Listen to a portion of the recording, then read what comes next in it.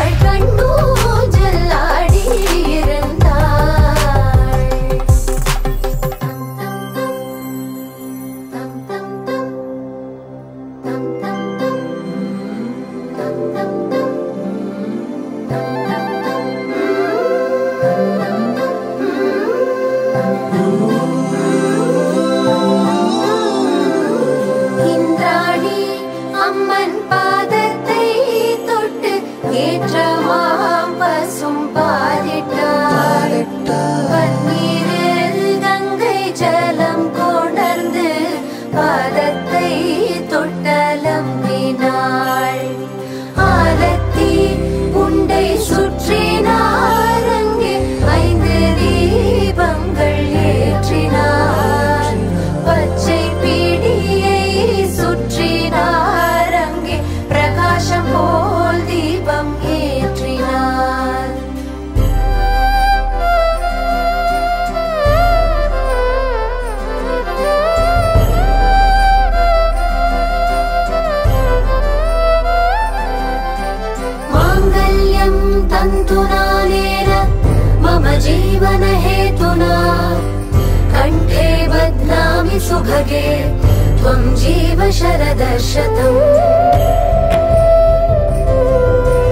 माङ्गल्यं तन्तुनानेन मम जीवन हेतुना।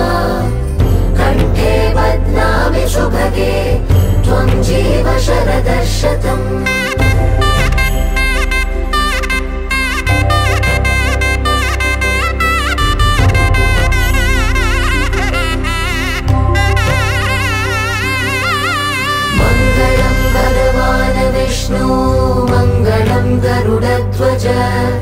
मङ्गलम् पुण्डरे काक्ष